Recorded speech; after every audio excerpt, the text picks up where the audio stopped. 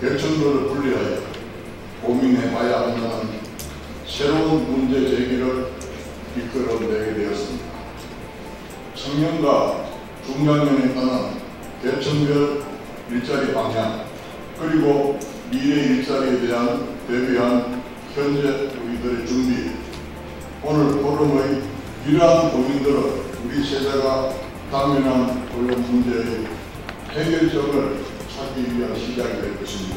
최근에 부처 각종 정책 제도 그런 것들에 대해서 같이 말씀드리고 논의하는 시간 좀 가졌고 최근에는 기술 변화를 아마 디지털라이제이션, 디지털 변환이죠. 근데 우리가 고민하고 있는 건 상당히 있어요. 인자리, 경청, 창조적 이런 부분이 미탁을 했다고 저는 생각해요. 그러면 정부의 개입을 줄이고 청년층 일자리 및 직업훈련의 방향이라는 큰 주제에 대해서 발표를 요청을 받았고 보시면 전체 실업률보다는 어, 3배 정도 높은 것을 보실 수가 있습니다. 네, 증가된 실업률은 두 번째로 지금 학력별로 한번 제가 어, 구분을 해봤는데요. 대한 기회일도 있습니다. 하지만 그런 것이 지금 잘 이루어지지 않고 있다는 것. 그리고 산업시스템을 제공을 하면서